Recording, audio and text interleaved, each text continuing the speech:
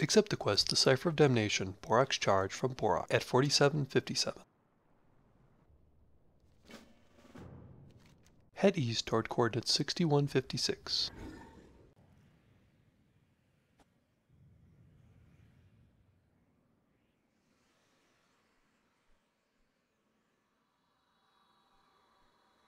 Search the Netherwing fields for Ruul the Darkener, who lands in the area of 5955 and travels to Dragonmaw Fortress.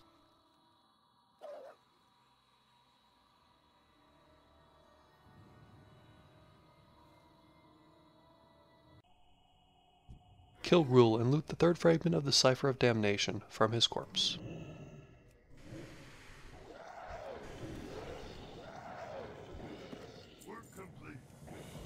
Go west to coordinates 4757.